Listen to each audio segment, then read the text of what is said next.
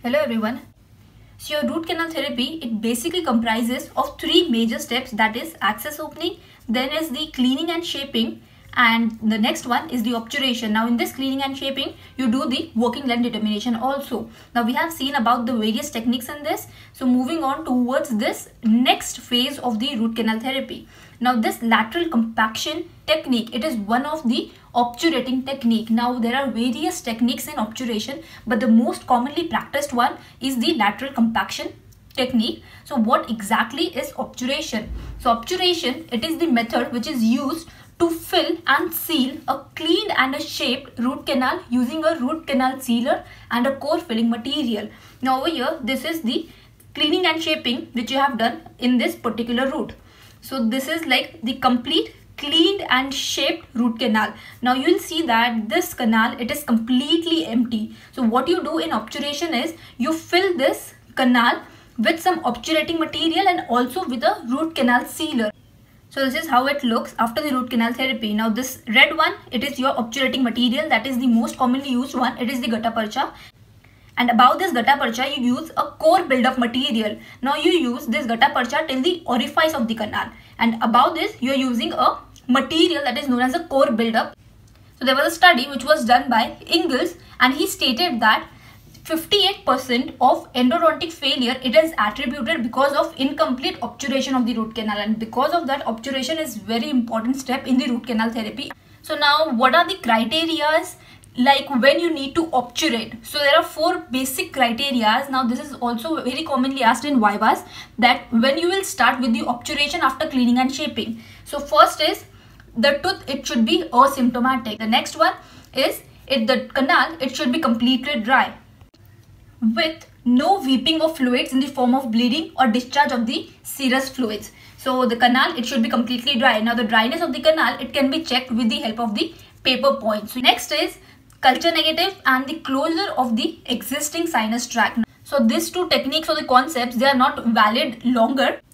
Now starting with the technique of the obturation, starting with the first that is the cold lateral compaction technique. So this technique, it involves the placement of the gutta percha cones in the canals. You are placing the gutta percha into the canals and you are compacting them under the pressure against the canal wall using a spreader. Now spreader, it is an endodontic instrument. So it is used to compact. Now if this is your spreader and there's a GP cone which you have used. Now as the name says, it is lateral compaction. So you need to compact this GP cone towards the lateral wall of your canal. So with the help of this spreader, what you do is you compact this GP cone.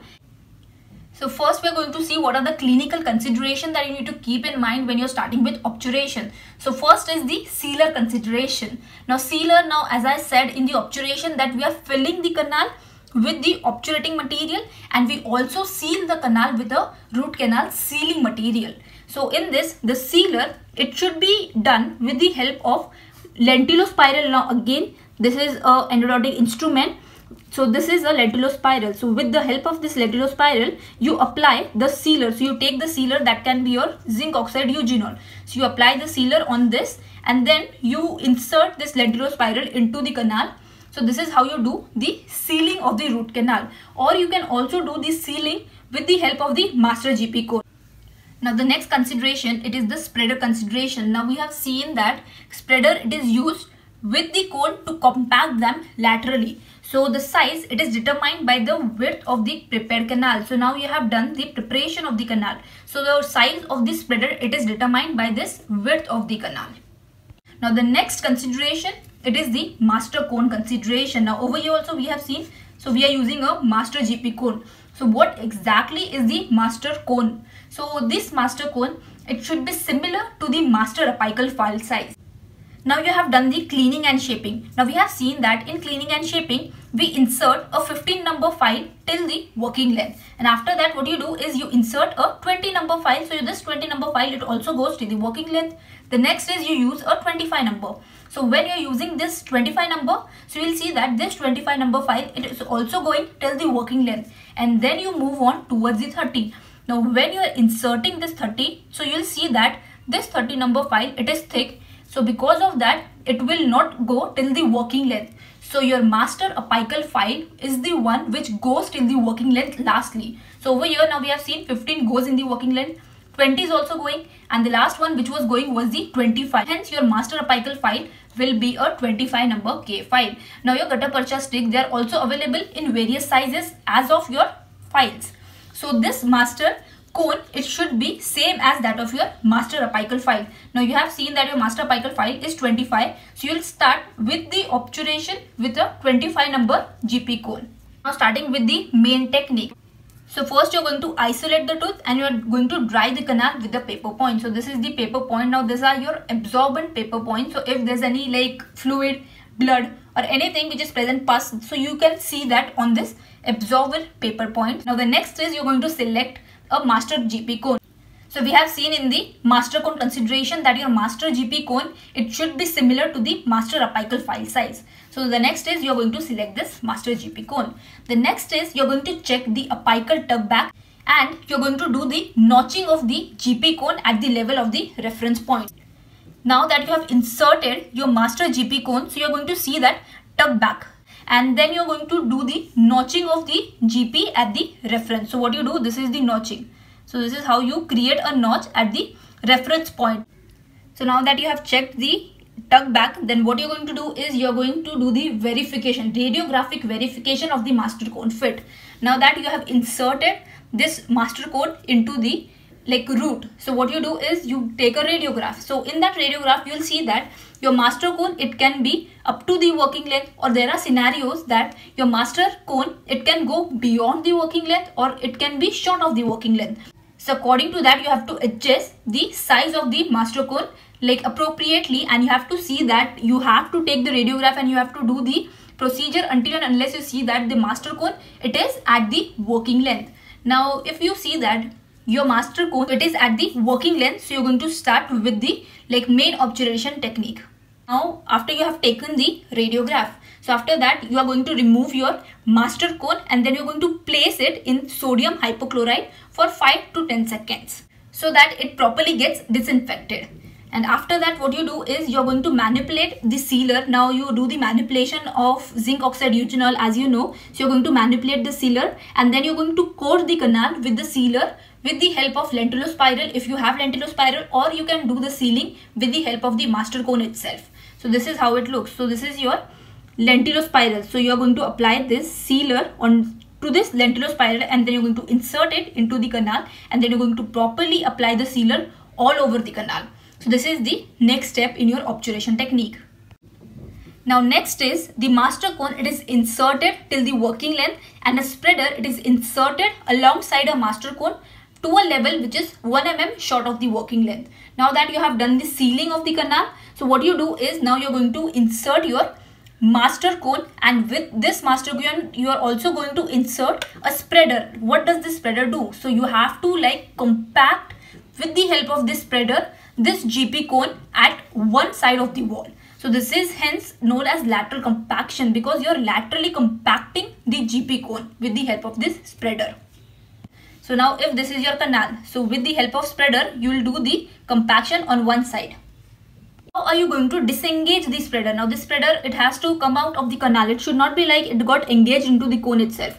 So what you're doing is you're going to disengage the spreader from the cone by rotating it between the fingers. So you're going to like rotate it and you're going to remove that spreader from the cone or you can rotate the handle in an arc. So you're going to rotate it in an arc or you're going to rotate it and you're going to remove the spreader from the canal. The next one is you're going to place the sequential accessory cones by lateral compaction until complete obturation of the radicular pulp space is done completely. Now what you have done is now you have inserted so over here this red one it is your master cone. After that what you do is now you have compacted it well on one side of the wall. Now this is not completely filled so you now you're going to take a accessory cone. Now your this accessory cone it can be of any size. So it can be same as that of a master cone or it can be a larger size or it can be a smaller size. Now it depends how huge your canal is. So if you see that the canal is too big so for that you can go for a larger size accessory cones so now what you do is so your first master cone it is already placed in the canal properly The next one is now you're going to insert a accessory cone and then you're going to again insert the spreader. So now this green one is your first accessory cone. So now you have inserted it and you have also inserted the spreader and you are like compacting it on one side. So now you have compacted one side. Now you're compacting it on the other side. Now again you're going to remove the spreader as of this same thing. Then again you're going to insert one more accessory cone. So over here this pink one is another accessory cone. So again you're going to insert the spreader with it and you're going to compact it on the one side. Then same you're going to do this procedure until and unless your canal it is completely compacted and you'll see that now when you're inserting the spreader in this canal so the spreader it cannot go into the canal because your canal it is completely filled with the obturating material. So now the thing that you'll see in this is now your length of this GP cone it is same. But when you're doing the obturation you'll see that the cone first cone it will come till here. The next cone it will come above it. So it, the next cone it will come above it. Now why so? Now this is because it totally depends on the preparation that we have done. Now we do the preparation first in the apical region, then in the middle region and then in the coronal region as in the step back technique. So you'll see that slant which you create in the preparation. Now because of that the diameter it is less in the apical so it goes on increasing till the coronal portion.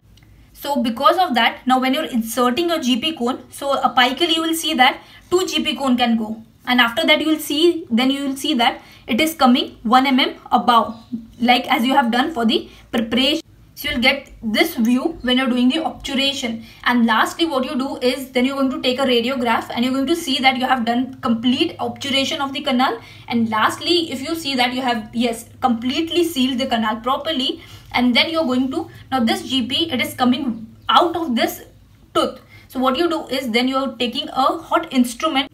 So you can take a spreader and then you're going to just heat the spreader and then you're going to place this spreader near the orifice of the canal and you're going to cut this. So this is the obturation that you have completely done and you have completely filled and sealed your root canal and above this you'll place this temporary restoration. So now that we have seen like your cone. So it first cone it will go till apical. Then your next cone it will come 1 mm short of it. Then the next cone it will come 1 mm short of it. So you will see that there's a space which is created. Now your canal it is present like this and you're doing the obturation in this manner. So your first cone is going till here. The next cone is going till here. So the next cone is going till here. Now over here this is the space which is created. Now this space it is filled with the help of this sealer. So now what are the advantages of this lateral compaction? Technique of obturation. So in this, it can be used in most of the clinical situation. Then the next one is during the compaction, it provides the length control and thus it decreases the chances of overfilling. So there are chances like in obturation, you can overfill the canal. But now in this technique that you have the length control and because of that, you are like decreasing the chances of the overfilling. So these are the two advantages of lateral compaction technique. Now what are the disadvantages? So in this, it may not fill the canal irregularities efficiently. The next disadvantage is it does not produce a homogeneous mass that we have seen already and because of that you're using a sealer into it. The next one, the space which is existing between the accessory and the master cone is always present. And the last disadvantage is you'll see the sealer to a GP ratio increased in this cold lateral compaction technique. So these are the disadvantages of the compaction, cold lateral compaction technique. So this was all about it. I hope you found this video helpful and if you did then please like, comment, share and do subscribe to my channel. Thank you so much.